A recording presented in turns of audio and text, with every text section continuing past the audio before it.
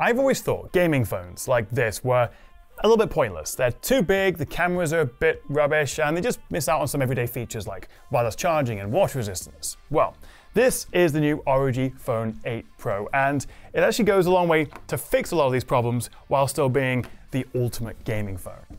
And I've got the new ROG Phone 8 Pro with me here. There's also a regular Phone 8. And with this, ASUS are trying to pack in all the usual gaming extras into something smaller, sleeker, and just a lot better as an everyday phone. Question is, though, has it worked out? Is this actually worth buying? Well, here's what I think, and if you do enjoy this video, a like and subscribe would be lovely. Well, versus the previous top dog ROG, the Phone 7 Ultimate, which I've got here, the Phone 8 feels all grown up and kind of serious. It's 9% lighter, 15% thinner with shrunk down bezels, and it makes a heck of a difference. This thing feels like a premium flagship phone. It's much easier to hold, and the build quality is fantastic. The 6.78 inch screen is brighter than ever, now at 2500 nits, with the same super smooth 165Hz refresh rate, and a 720Hz sampling rate for lower response times, all wrapped up in Gorilla Glass Victus 2.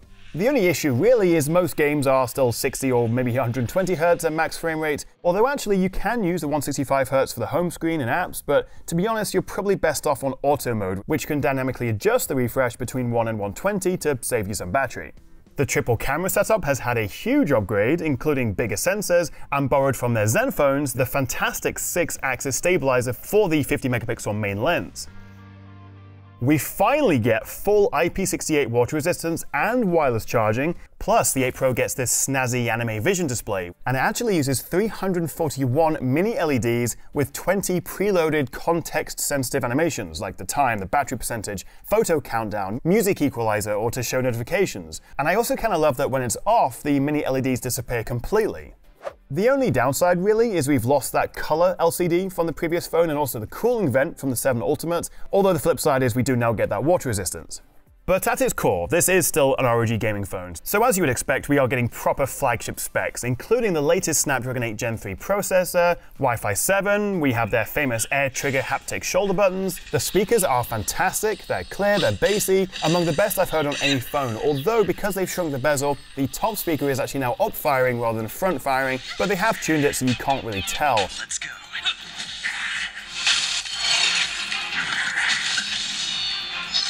And as usual, it supports Snapdragon sounds, so we get low latency, aptX, lossless, and high-res audio support. And of course, you've got that 3.5mm audio jack for your wired headphones or mics. And you get AI noise cancellation for your mics, so your call or your stream quality is nice and clear.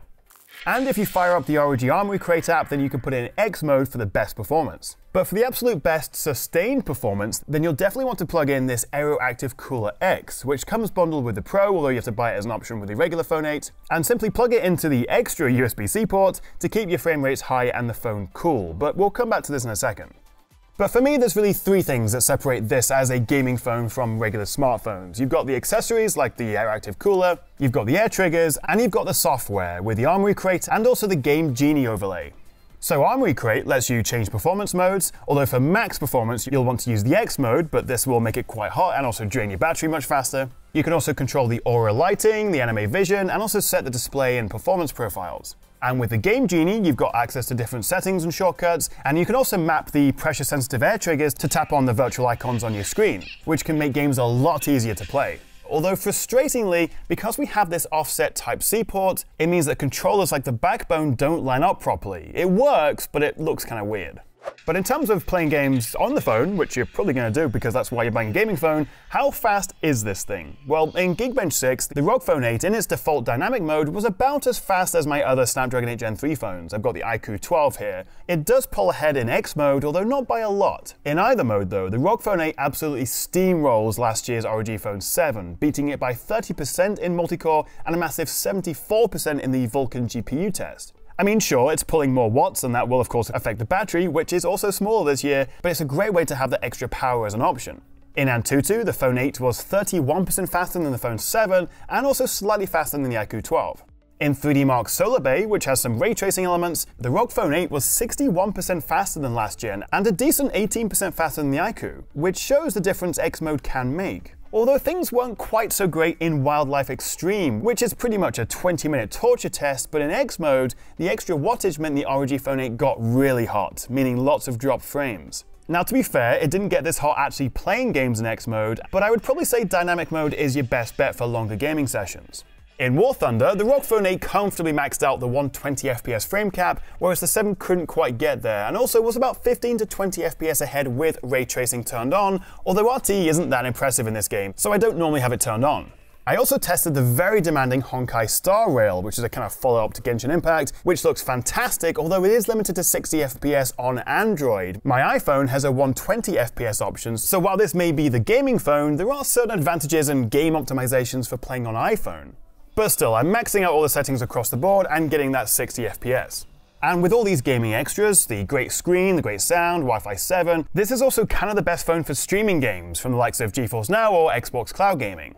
But what about cooling and does it throttle? Well, after half an hour of playing demanding games in X mode, the temperatures never went over 39 degrees Celsius and it was still comfortable to hold, although it does idle around 8 Celsius hotter than last year's Phone 7. However, if you grab the Aeroactive Cooler X, which is also a $99 accessory for the regular Phone 8, this one is smaller and lighter and you get more efficient cooling and a quieter fan, with the idea being this keeps the phone cool so clock speeds can stay high, meaning fewer frame drops and less, well, jankiness. Plus, it has two physical air triggers, a headphone jack, a Type-C port, RGB, and a kickstand.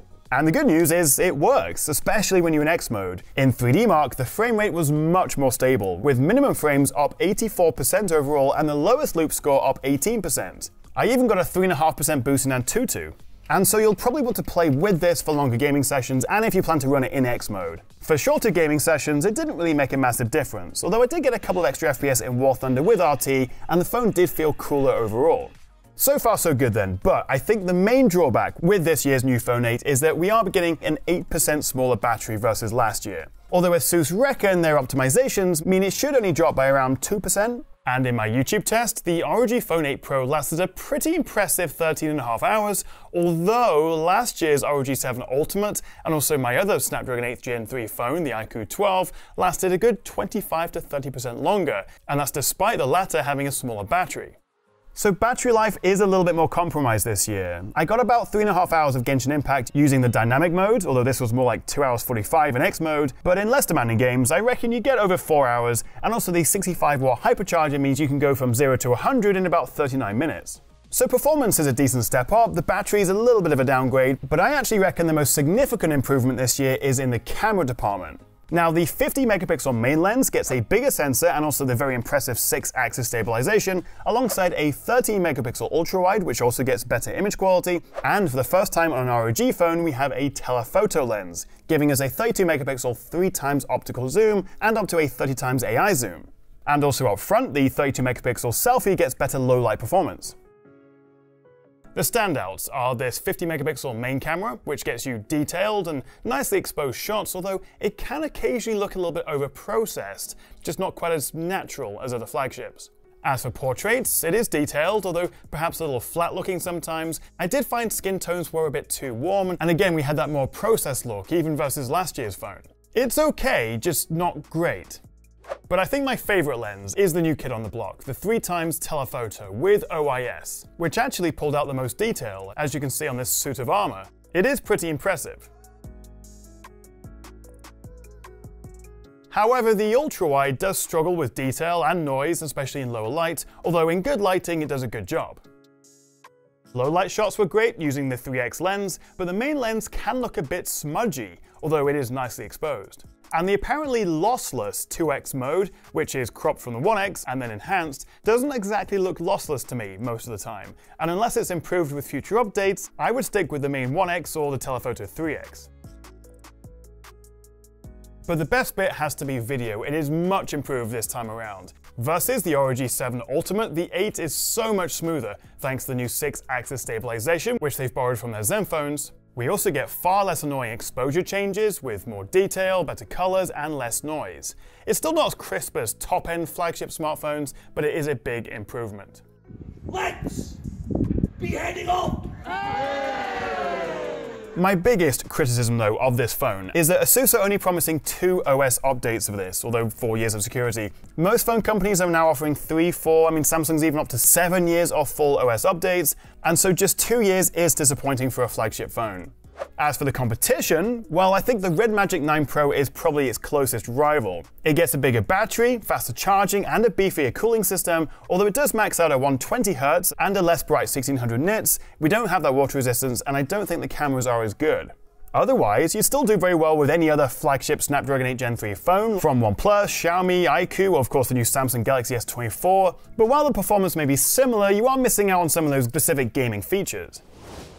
So there you have it. The ROG Phone 8 is a terrific gaming phone. It's also much easier to live with this time around, thanks to water resistance, wireless charging, and much improved cameras. The truth is, though, there aren't really that many Android games that need this kind of power, but really it's those extra gaming features that make the difference here. But I would love to see more demanding console level games come to Android like we're seeing on the iPhone. It is also quite expensive. The base ROG Phone 8 starts at $1,100, although for just 100 more, so $1,200, you can get the Pro, which offers double the storage. We have the Anime Vision display, and also this very nice matte, sparkly phantom black finish. But then the one I have here with one terabyte of storage and a massive 24 gigs of RAM, the Pro Edition, it's $1,500. Ouch.